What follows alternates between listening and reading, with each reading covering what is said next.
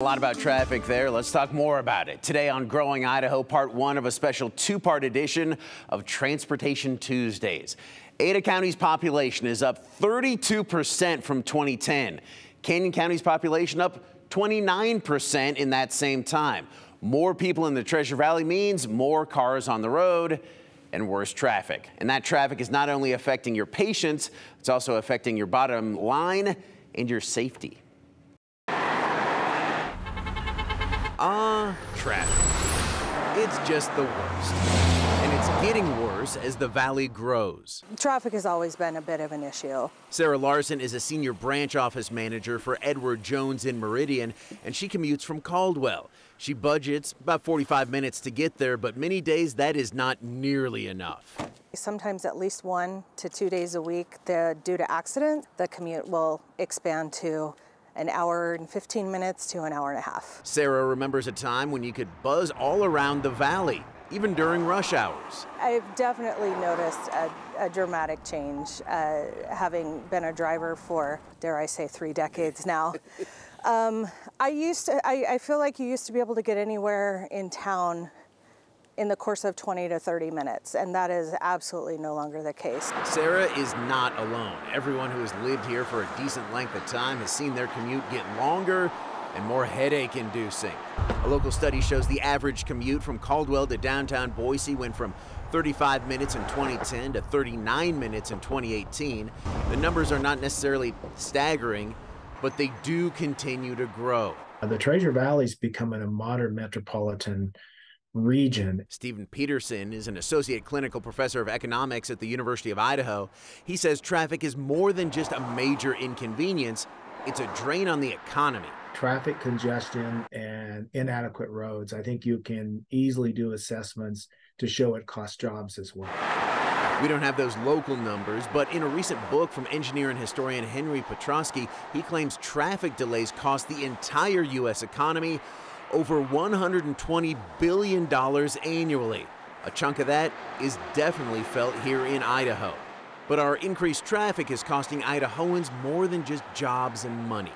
We place their safety as they drive on Idaho roadways as top value. Captain Matt Sly and everyone with Idaho State Police are working nonstop to keep people safe on Idaho's highways and it's getting much tougher as the population expands. There's been an increase in speed, um, impairment, and uh, distracted driving as well. But there is one thing that's declining the number of mistakes you can make behind the wheel without getting into an accident. There's a smaller margin of error for a lot of people because you have that many um, vehicles on the roadway. A decade ago, there were just over 6,100 crashes in Ada County. That went up to 6,600 by last year. In Canyon County, the spike in crashes was even more dramatic, going from about 2,700 to more than 4,200 by last year. That's a more than 50% increase in a decade. Captain Sly says some of the most serious crashes weren't even on the busiest stretch of road in the valley, the interstate. They were on secondary roads like Highways 2026 and 44. That's why ISP is working with local agencies a lot more to just try to keep up and keep the roads safer. Because if we're expecting one agency to do it, it's too much to do, and we have to be able to do this together. So traffic has gotten worse and worse. But is there any chance it could get better? Experts say no. We're anticipating that there's going to be a 67% increase in the traffic volume that we're having by the year 2050. Matt Stoll is the executive director of Compass, the Community Planning Association of Southwest Idaho. It's a group of local governments working together to plan for the future of the Treasure Valley. We are sitting at about 900,000 people living in Ada and Canyon counties right now. They expect that to grow to 1.3 million by 2050. Right now, we take about 1.8 million passenger vehicle trips every single weekday in those two counties. That number balloons to 3 million trips every weekday in 2050. Your commute is going to get worse than what it currently is.